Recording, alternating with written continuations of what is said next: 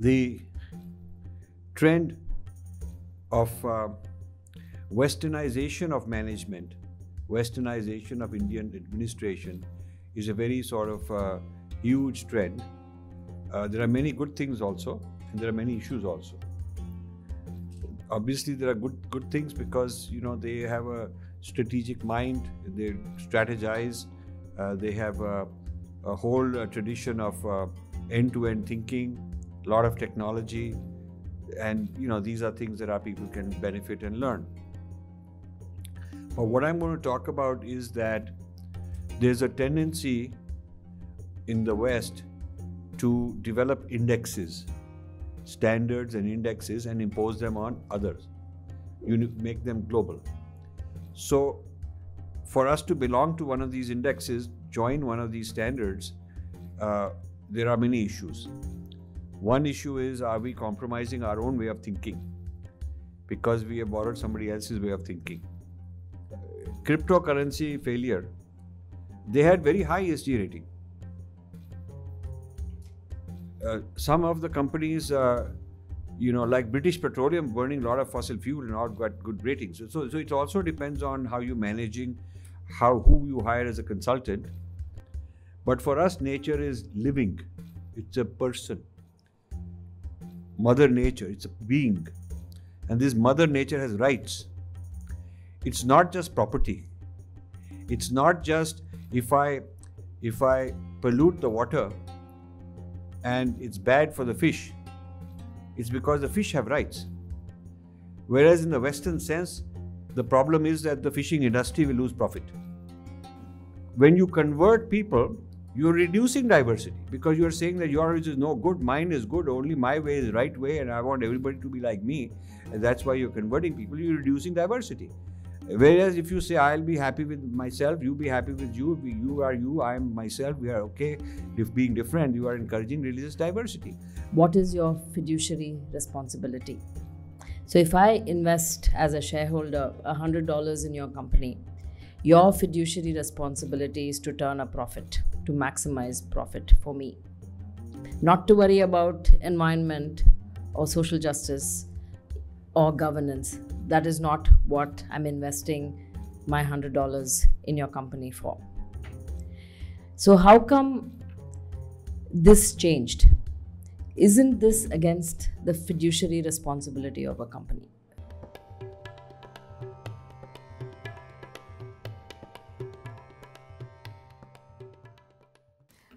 Hari. Namaskar, everybody. I'd like to welcome all of you uh, and our distinguished guests in the audience and present here uh, to this interaction with uh, Shri Rajiv Malhotra ji and Vijaya Viswanathan ji. I request our guests to please begin uh, the session by lighting of the holy lamp.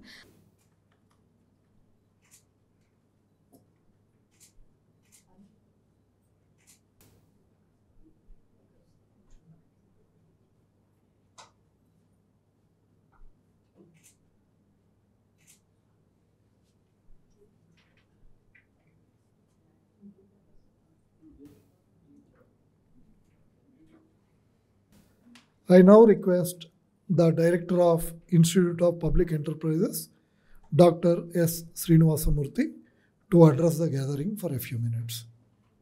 Shri Gurubhyo Namaha.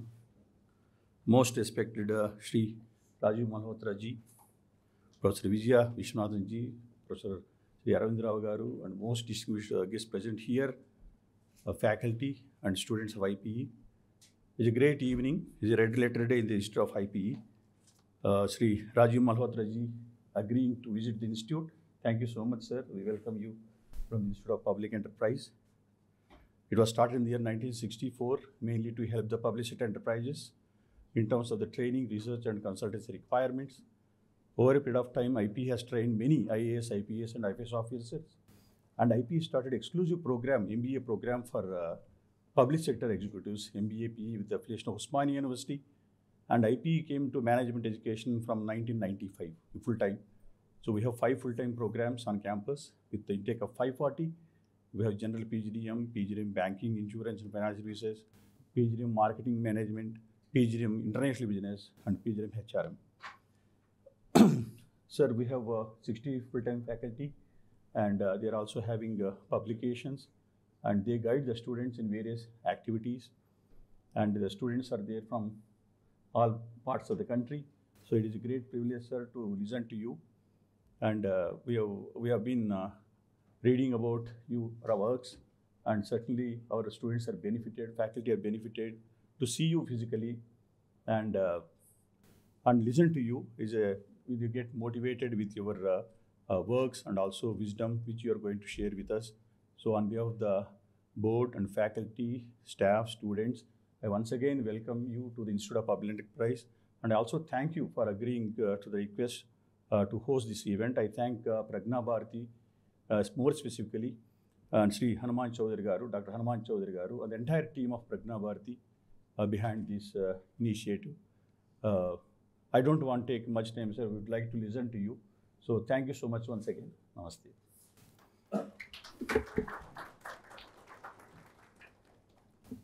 Thank you, sir. Pragna Bharati is honored to have the privilege of the presence of Mr. Raju Malhotraji in our presence. And uh, I am very happy to say few words about such towering personality. Raju Malhotraji is a respected and distinguished thinker on Indic thought basically educating people against the miscommunication of Western ideologues and Western universities about the historical and cultural knowledge of India and traditions. Raju Malhotra ji is a graduate in physics from St. Stephen's and masters in computer science from Syracuse University. Then he has started many IT companies in the US then at the age of 44 decided to come out of the business world and work for developing indian thought. He has written various books breaking india talks about the different forces and fault lines that are trying to destabilize india. And the most recent book snakes in the ganga is breaking india part 2 which also of course, snakes deal with the divisive forces, and Ganga is a metaphor for India. So, how divisive forces are destroying India? In between, he has also written books on very important treatise on artificial intelligence and its importance in the future of national security and probably the world security. And also, he has written about Indra's Net, which is about the relevance of Vivekananda's thoughts in the present world, and some other books, and importance of Sanskrit, another book. Raju Malhotra ji is a founder of Infinity Foundation based in Princeton, New Jersey, and he is also a proponent of uh, different changes in the education system and also runs an educational council for Indic studies. We are all eagerly waiting to listen to the wisdom of Raju Malhotra ji. Once again thanks him for gracing us with his presence, knowledge, and wisdom. Thank you, sir. I request you to address the gathering.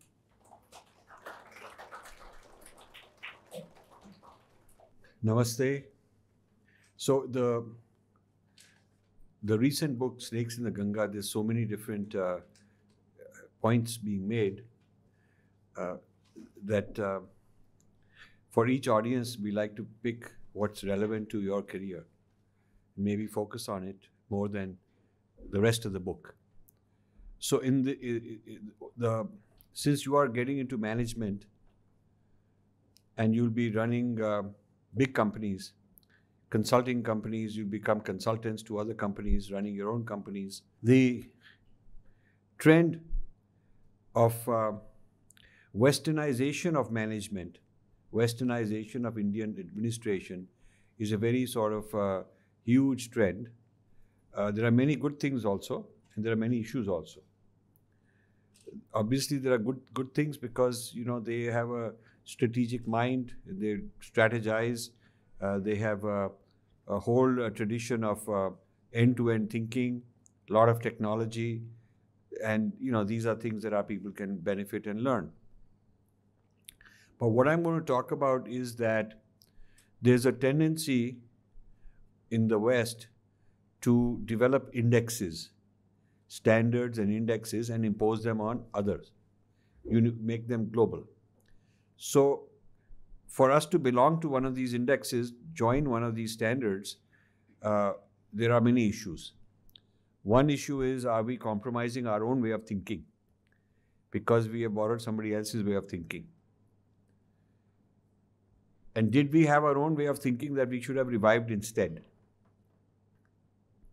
Another question is when we adopt their way of thinking, are they always going to be better than us because it's their way of thinking? And we'll be second class, second class in because it's their way of thinking. They'll control, evaluate, judge, and we'll have to comply with their standard. And so they will make the rules and they will appoint the judge. And so we have to always be sort of at a handicap.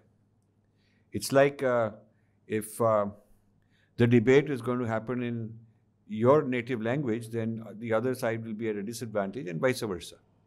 Same way, if there's a framework that everybody is going to follow, but somebody has controlled it, and they continue to control in the future, then they will have an advantage. And I would go a step further and say, is that a form of colonization? To say that uh, we're all equal, we're all free, everybody has equal opportunity, but I under my rules. I made the rules, and then you all play the game. So, um, what I'm going to talk about are, for instance, as an example, what I'm going to talk about is ESG, which all of you are learning. All of you have learned ESG. I saw that in the course curriculum. Before coming here, I wanted to find out what you're studying. Everybody in India is studying ESG because there's a market for it. Corporates expect you to know. But E stands for environment, the whole environmental, uh, you know, movement, and there are indexes to see who's more green, less green, and all that. And S is about society, society, social justice, societal. So who's got more diversity, who's more inclusive, who's got social justice, human rights. Again, somebody has to decide what that means. And G is governance, what sort of governance you have. Is it fair and are people represented and things like that. Now, on the surface of it, it is wonderful. It seems like a universally desirable thing that we should have good environment, we should have good society with justice, and we should have good responsible governance. But then the question is how do you measure it and who decides that index? So if you take the social, the environment, there's a whole pushback under this whole environment, even in the United States, because people are saying that this environment movement uh, has a criteria, has a criteria for evaluating, which certain people have made. Uh, World Economic Forum, uh, some think tanks, Harvard, these kind of people, they've come up with this uh, index. And so now they have hired, they have trained consultants who go around like these big consulting companies, the Deloittes and the Ernst and Youngs and McKinsey's, and they, they hired a lot of people like you also. You might be working for some of these companies, and they, in India, they have Indians leading, so we think it's all Indian stuff, but it's not. And then the idea is that using these criteria, they're evaluating how is Reliance how, scale on, on a scale, and how is uh, uh, you know Tata's, and how is this one, and how is that one, and so everybody's clamoring for better ratings, because better ratings means you'll get better funding. Your it's like credit rating. Now this is uh, this rating will also determine how many people are willing to invest in you, and if your rating goes down, then a lot of investors will pull out so, so there is that going on. But when you look at the facts, some of these, like this this uh, very big uh, uh, cryptocurrency failure, they had very high ESG rating. Uh, some of the companies, uh, you know, like British Petroleum, burning a lot of fossil fuel and all got good ratings. So, so it also depends on how you're managing, how who you hire as a consultant, and it's sort of like a bit of a jugaad and a bit of a um, scam also in the sense that and now people are beginning to talk about the scam esg as a scam. People in the united states are talking about it. That there are it's it's not it's not transparent who, who made the criteria and on why they made the criteria that way for in measuring and how come the world's the people around the world didn't get to participate in deciding what is what is their idea? So if you look at environment from the indian traditional point of view you're talking about mother nature. That's what you're talking about. So to evaluate your behavior and your conduct towards mother nature is a very important thing in our dharma. It's one of the one of the things that you, you have a responsibility. You have a duty to protect the nature. But for us nature is living. It's a person. Mother nature it's a being. And this mother nature has rights. It's not just property. It's not just if i if i pollute the water and it's bad for the fish it's because the fish have rights. Whereas in the western sense the problem is that the fishing industry will lose profit. The different reason. If i don't want to over harvest a eh, in ayurveda you only harvest at a certain time when the plant is in its cycle plant has a cycle and you only harvest at certain points in time when you don't harm the plant. And you only harvest a certain amount the western idea would be that uh, you want to maximize the yield and you therefore optimize when to harvest how much to harvest for optimizing the yield. It's not because the plant has rights and the plant is a being. It's not that. You see? And the reason you don't want to you you consume too much natural resources is because it's man's property and may run out. You know i don't want to deplete my property. So the whole um, tradition starts in the bible where god tells man that this is world is made for your pleasure it is your property. So if the world is your property then protecting it there is one kind of ethics and one kind of values. But in our tradition it is not our property. The world is not our property. We are part of the world and inseparable from the world and the world is being is a person personhood. So the whole philosophy of environment is different and therefore protecting it is a different kind of a standard for us. You see? So the question is then when we are talking about environment we are including animals. It's not just climate. So what about non-veg? Should we say that there should be negative those people should be kind of in trouble because they are harming the environment. To us they are part of the environment. You see? So whose philosophy do you use? And why is it that one civilization's philosophy because they've conquered the world and colonized the world and the english language has spread uh, why is it that their particular worldview should become the universal standard? That is what in my book being different i call western universalism meaning that their history and their experiences which are very good very profound very valuable for them.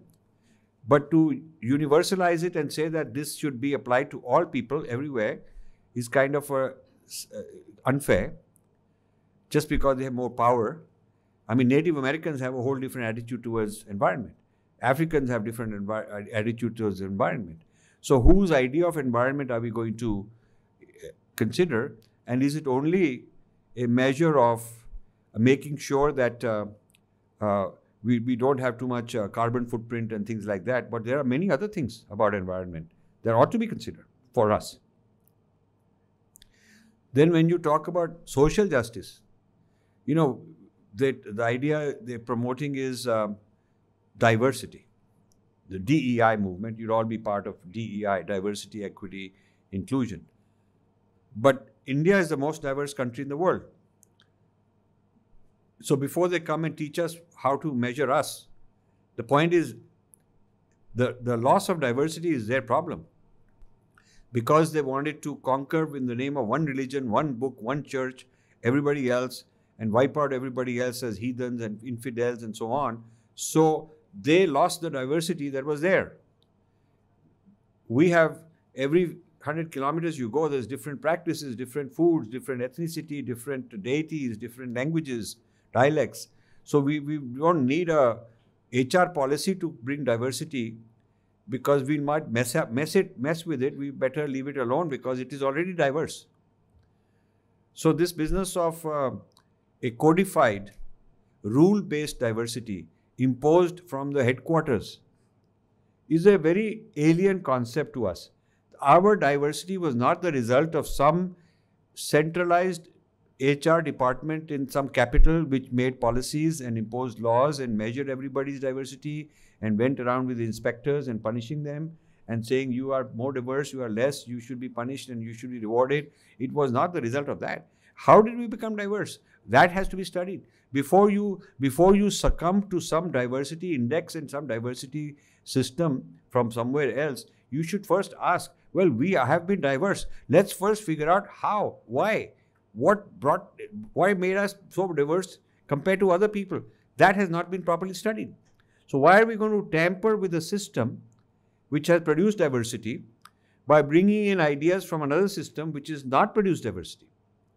So this is this is a philosophical issue that you you I'm I'm raising issues that are not practically useful in the narrow context of maximizing your career. So when you go for a job interview, don't say all this. Really. But you should think.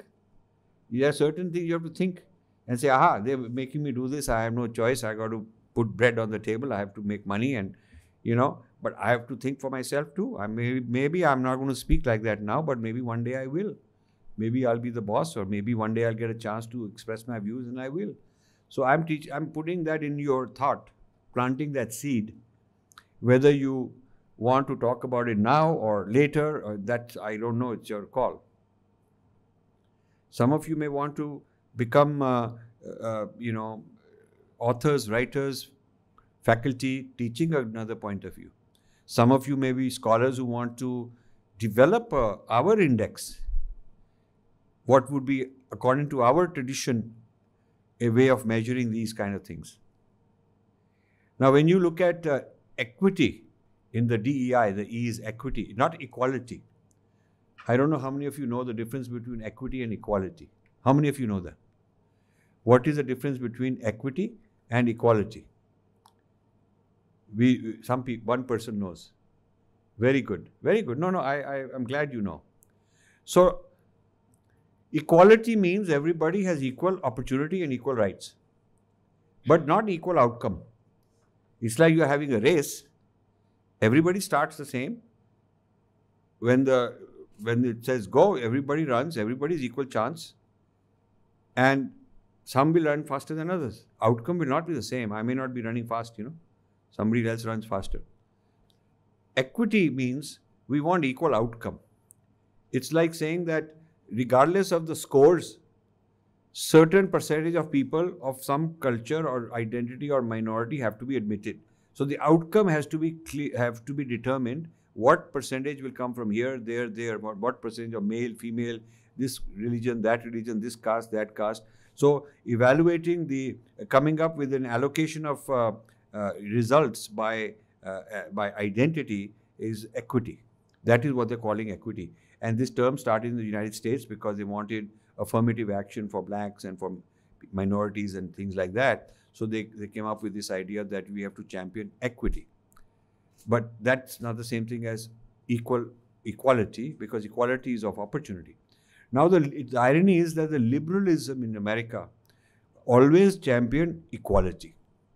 Martin Luther King never asked for equity. He just said, I want a level playing field.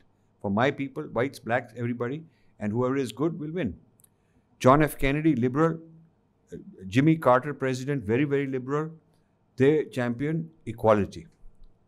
Even till the time of Bill Clinton, they championed equality, and also Barack Obama championed equality. But now, under wokeism and critical race theory, it is equity being championed, which rather than equality. So when you just get sucked into di- diversity, equity, inclusion, it is perfectly fair for you to raise your hand in class and say, Can you please explain what is equity versus equality? If you want to get a two minute version, Uh, you might be familiar with the Bill Maher show. You familiar with Bill Maher? He's a comedian, and he there is a two three minute clip. So he he brings in Bernie Sanders and he says, uh, on your web page, you have mentioned you support equality, but your com- your party is now supporting equity. Would you like to tell the audience the difference between equity and equality? So he puts him on the spot, and he's, he, the Bernie Sanders is very uncomfortable. He just he tries to say, uh, uh, I, I don't know. He kind of pretends. He first pretends, and he says, but you have it on your website.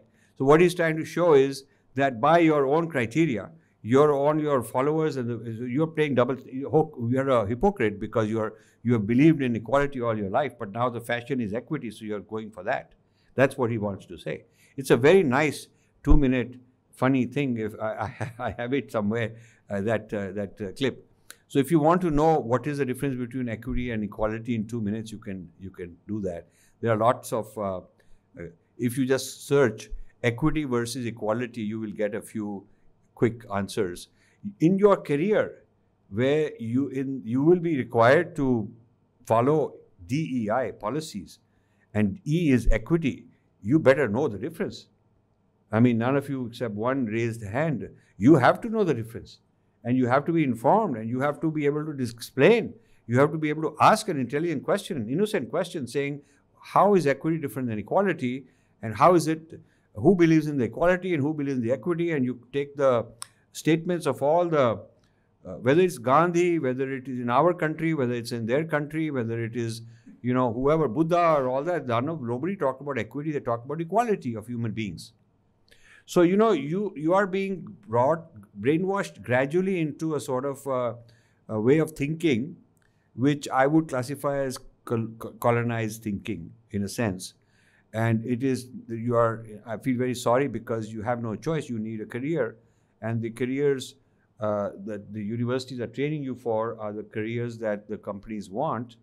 And the companies want as part of the globalization this is what the companies want they have no choice so there is a whole world order which is imposing itself on uh, indian corporates indian universities indian think tanks and government offices and all that and uh, this index based thinking uh, is uh, driving the education of people.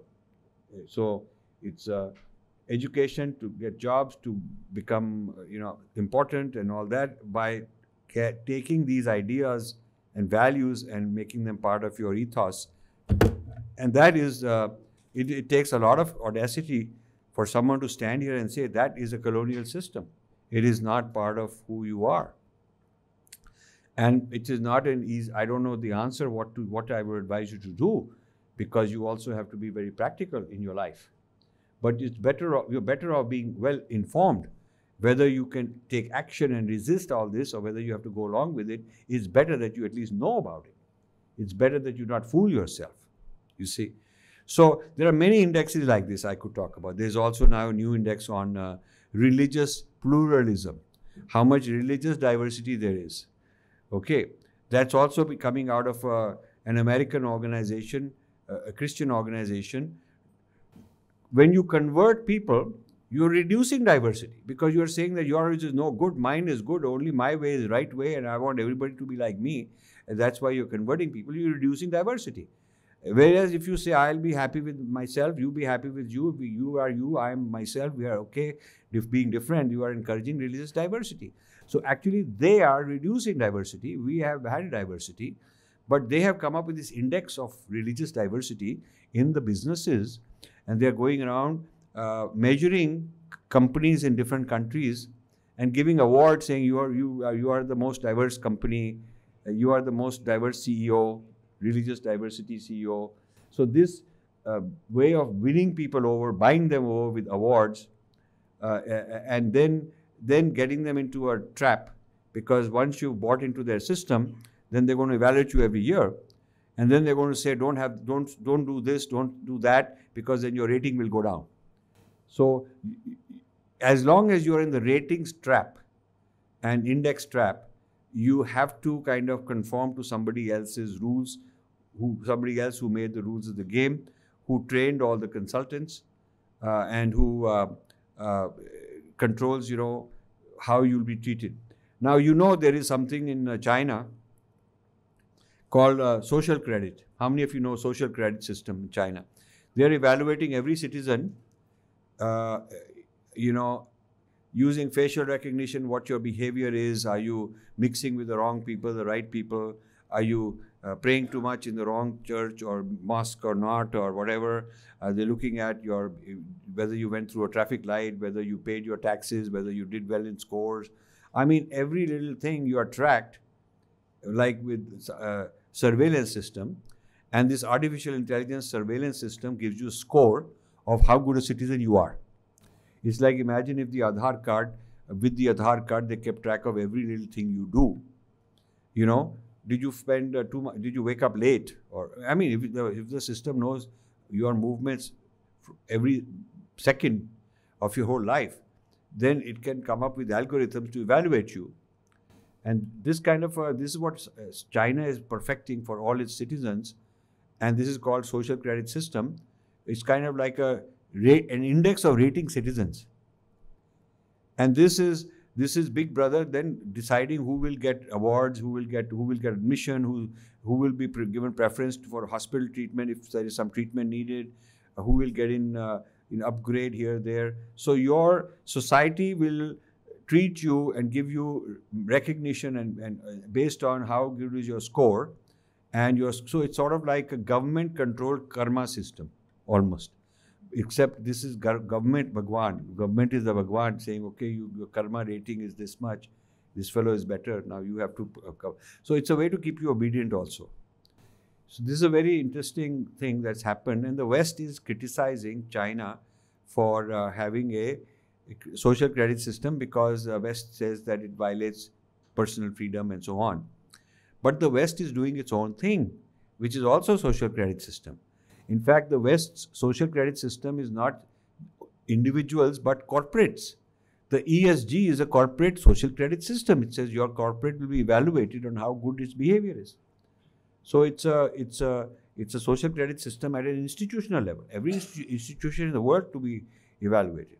You see, so there's one AI system to evaluate ESG, which says that uh, we will track the images, facial recognition can recognize the, uh, the, the board members and the CEO, where he's been, who he's shaking hands with, is he, is he hugging only white people or also black people?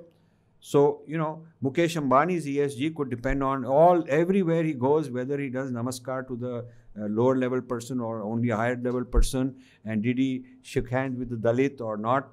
I mean, so his ESG rating with, by AI will tell will come up with a score of uh, uh, Mukesh Ambani's ESG. So, so this kind of an AI-based social credit is a very uh, strange kind of a thing. And you, it's your, I'm, I, these things are not going to bother me. I'm okay. I'm 72 years old. Nothing's going to affect me. But your life is going to be run by these things, and that's what I'm telling you about. So you have to be concerned about being evaluated, measured, watched, surveillance, and put into these indexes and into these various uh, ways of uh, being rewarded and so on. Uh, now, and the worst part of it is, in at least in China's case, they are controlling. It's not a foreign country; their own government controlling. In our case, it is Western indexes controlling you. Western indexes controlling you. Your behavior on social media controlled by the Googles of the world in terms of what they think of you your profile and whether you're post will boost or not boost, and whether you whether you are said something that they want you to say or not say, uh, you know, and and your uh, companies, uh, social credit as ESG and other kind of rating systems controlled by uh, Western consultants. Uh, who are coming and evaluating you and bankers and financial industry deciding whether to fund you or not so this is a, a this is a future uh, risk of sovereignty of a country uh, and and uh, you, it's something that you should. I'm. I would like that some professors here uh, should also give you a lecture on what are the risks and pitfalls of all the things, all the systems that you're being taught. you should also reflect on okay, how can it how, how can it backfire on my values? And should I be careful about it? So uh, I, I'm addressing the students, but I'm also hoping some faculty will take note of this. Uh, thank you very much for listening, and we'll take some questions later on after Vijaya has spoken. Thank you.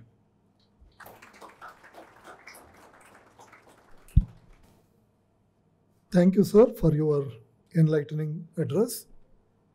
I am now delighted to introduce Professor Srimati Vijaya Viswanathanji. Srimati Vijaya ji is the co-author of Snakes in the Ganga book. Vijaya Viswanathanji is an MBA from Wharton Business School of University of Pennsylvania. She is also an engineering graduate from University of Massachusetts. She is a great scholar in Indic studies and presently associated with, according to her online profile, Bhishma School of Indic Studies, Pune, and uh, Sanskrit Academy, Chennai, Agastya Gurukulam in the US.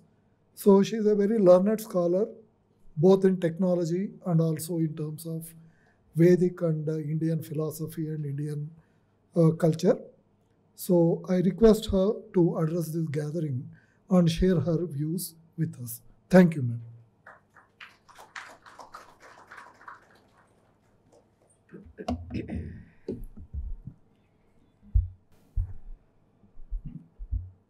Namassarvebhyah. So Rajivji talked about ESG, and I just wanted to add a few more points to tell you what some of the people who are waking up to this nightmare are doing in the West. So there is a big movement in the West where they are asking companies, especially publicly traded companies, what is your fiduciary responsibility? So if I invest as a shareholder $100 in your company, your fiduciary responsibility is to turn a profit, to maximize profit for me. Not to worry about environment or social justice or governance. That is not what I'm investing my $100 in your company for. So, how come this changed? Isn't this against the fiduciary responsibility of a company? Because I never voted for this. So, what has happened is the big pension funds in the US have been investing in three large institutional investors, which is Vanguard, State Street, and BlackRock. And these guys, right, uh, Larry Fink of Uh, BlackRock especially, they control trillions of dollars in assets, assets under management. So they can buy a board seat, right? They put their own people on the board, although it is the money of the average American that they are using to invest. But, but they have say on the board. For example, ExxonMobil is told, it's an oil company, and it's told that you should not be drilling anymore. You should, because it's, uh, you know, because of the carbon uh, emissions. So here's an oil company, that's what they're in the business for. But BlackRock has placed its members on the board of Exxon, and and so the CEO has to bring down oil production, which hurts Exxon, sh- you know, share price. But, but of course, the ESG rating is high. Now, if you look at the Silicon Valley Bank, which went down a couple of days ago, they had fantastic ESG rating. In fact, uh, one of the things under the ESG social justice also, you know, um, getting more women into the workforce and all of that. And uh, I think three or four days before the bank went down, the women bankers posted apparently um, something on LinkedIn, you know, showing how you know the, the, women bankers are really doing well at Silicon Valley Bank, and more power to women bankers and things like that, glorifying feminism and this, this and that. You know, all the the woke ideas uh, on social justice. So of course they had a great ESG rating, and then lo and behold, a lot of people, you know, stand to lose a lot of money. So again, where is fiduciary responsibility and what should be done about it versus ESG. Now, in America, what's also happening is as people are waking up to this, there are many that are saying the global forces behind ESG, which is the World Economic uh, Forum in, in Davos, um, and these theories, as we show in the book Snakes in the Ganga, emanating out of Harvard, um, they are imposing these ideas uh, on corporations, on on um, you know through the UN onto countries. So countries have a social um, uh, you know a, so, a, social credit rating. Uh, for example, again uh, to Rajiv Ji's point. Um, a Yale professor recently said about Japan's aging population that uh, maybe the old people should just commit uh, suicide uh, to lessen the burden on on the economy of the youngsters right in a culture that reveres its uh, you know elderly in canada they have expanded uh, their assisted suicide program to people with severe mental illness because the canadian government thinks that assisted suicide is better than a severe illness right these are deep ethical issues and yet these countries will have higher ESG ratings than India, where we we try to keep our elderly with us and and revere them and do namaskaram and things like that. So again, goes to show whose idea of social justice or human rights we're talking about. Now, the World Economic Forum also wants, um, uh, you know, when they, they have this whole program, to encourage venture capital. See, public companies you can sort of control with ESG, and there's a stock price and there's rating, so it's all public. But how do you how do you control uh, venture capitalists, venture, small companies that venture capitalists invest in? So they've come up um, with a system to, to do that, to impose these ideas on uh, venture capitalists, and then they want to go into angel investing as well.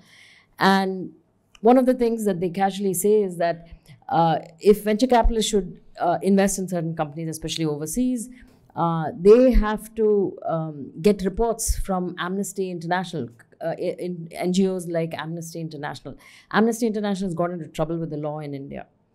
So if you're a small company wanting venture capital funding, they'll ask you for an Amnesty International report, you know, of, of, of the city or the surrounding area or whatever, and that, that might be negative in terms of human rights. And so this company will not get funding.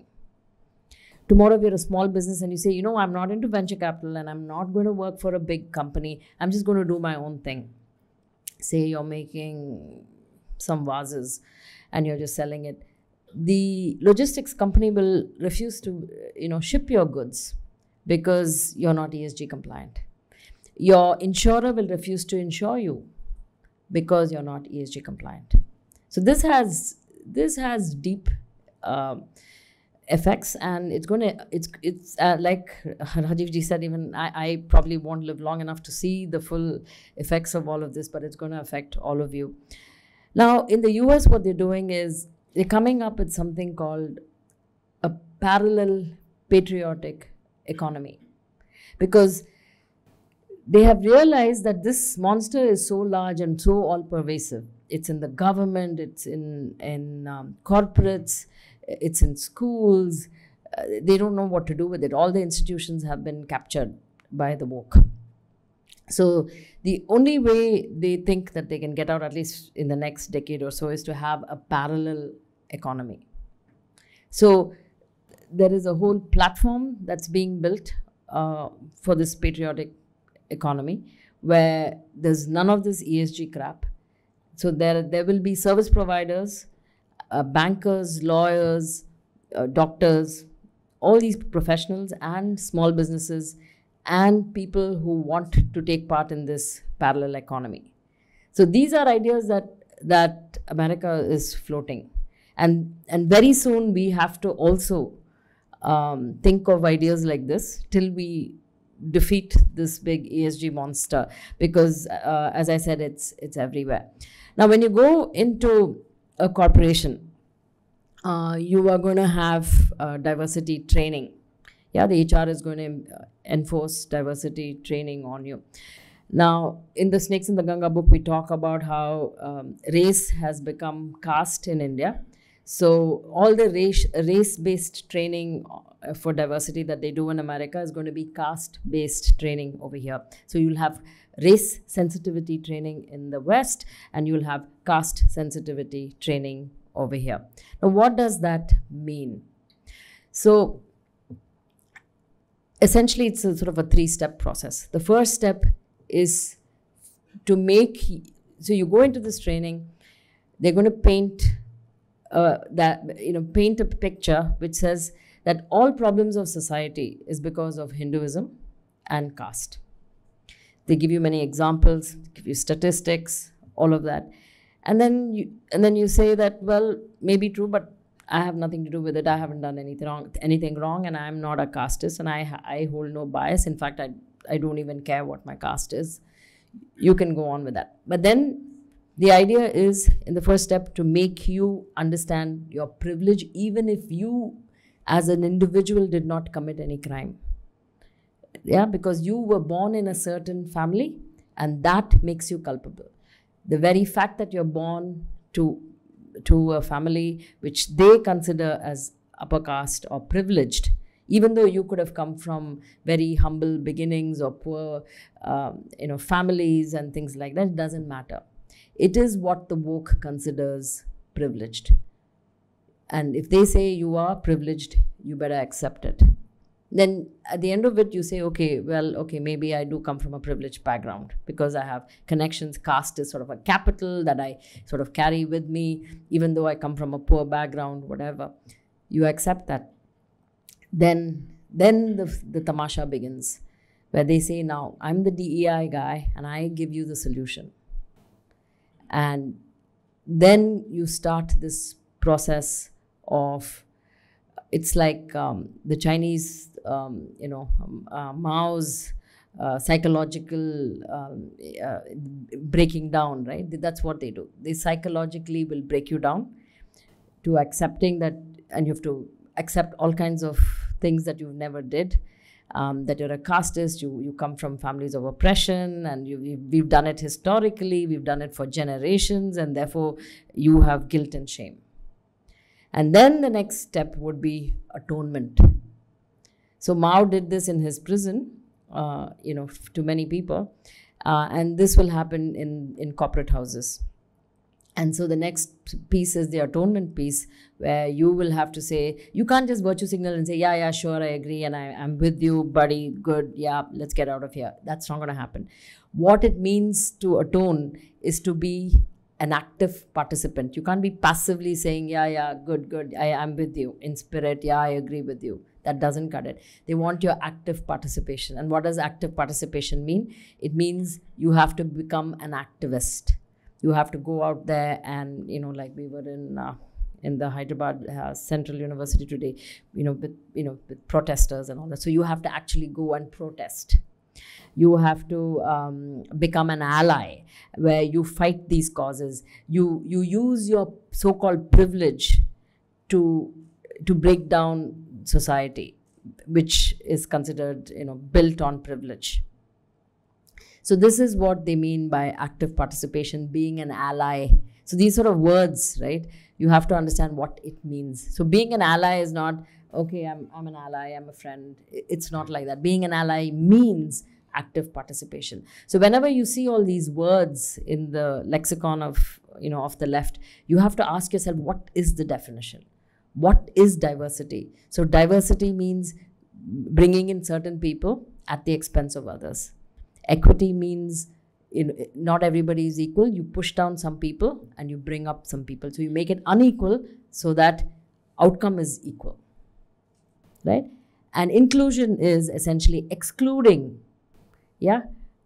Excluding certain populations marginalized or you know these synthetic uh, identities right that they come up with to bring um, to include others so they all have opposite meanings and, and totally different meanings. It sounds very good on the surface. Like who is not for environmental sustainability? Who is not for it? So these everything has to be you have to question everything get clear definitions.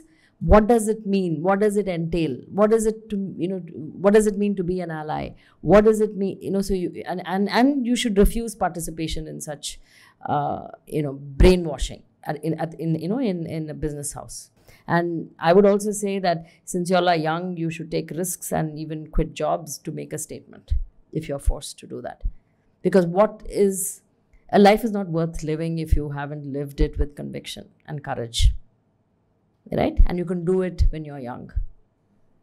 And so question everything and don't succumb to peer pressure and these Western ideas and Western standards of diversity, equity, inclusion. The last thing I want to tell you is even these these organizations like United Nations, UNESCO have all been bought out. The WHO is bought out by the Gates Foundation and the Chinese.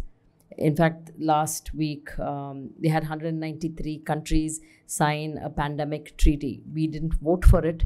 So your healthcare professional, whatever he might say, say you have a family doctor, you you love going to Ayurveda, and they say uh, that these are sort of the prescriptions I'll give you for a certain. This is the diagnosis, and this is how I want to treat you. Uh-uh, that's not going to work because India signed uh, a treaty with the WHO, WHO uh, to say that you know they they will decide the next pandemic is I don't know if it's being planned or is coming, um, and they will decide when to lock down, whom to lock down, how long to lock down, what you should wear. Now you know that masks are not you know they, don't really work, but of course you're forced to wear masks. So this these are all ways to these are practice sessions, if you will, to control people and eh, this is the beginning of the social credit system. You have to look at it from a meta level, bigger level. And this whole idea of central central bank digital currency is another thing. It's great, you can avoid black money, all of that. It has its plus side. But on the downside, think about it. Say you don't obey. Say you're under lockdown and you say, you know what, I'm tired of being in the house. I just need to go for a walk. And somebody catches you. Your your digital currency is now a coupon because if you disobey i can just it's not money anymore it's it's a coupon it's like um, a welfare check right you you go and, and and so people can turn it off like tap you know you can turn it off and on so the central bank digital currency is great but if your social credit you know score is low they can just turn it off and leave you high and dry with no access to your own hard earned money so this is where this whole thing is going your money is a coupon that can be turned off if you do not behave and if you're not obedient. This is the world that you guys are going to be living in. And good luck to you.